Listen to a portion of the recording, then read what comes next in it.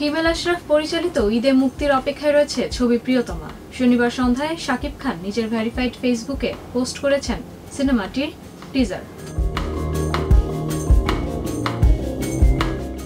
সেই ভিডিও সামাজিক যোগাযোগ মাধ্যমে রীতিমতো ঝড় তুলেছে। ত্রিশ সেকেন্ডের সেই ভিডিওতে দেখা গেছে রুমালে ঢাকা মুখ আর চোখে কালো চশমা।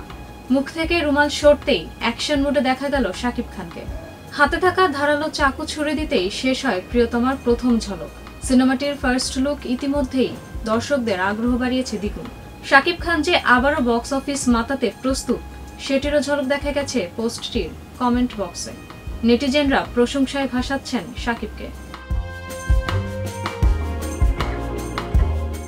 সাকিবের প্রকাশ করা সেই ফার্স্ট লুকে ভালোবাসা জানান দিয়েছে ঢালিউড কুইন খ্যাত অপু বিশ্বাস।